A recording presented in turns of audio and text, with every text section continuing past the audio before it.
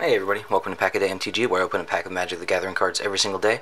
Today, we're opening this pack of Khans of Tarkir.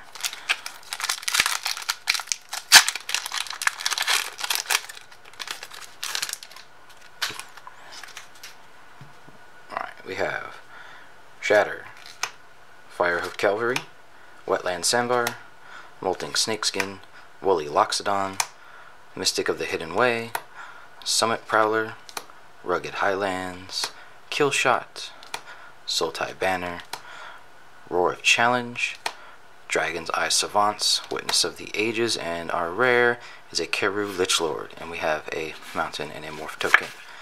That is it for today. Thank you for watching, and I will see you tomorrow.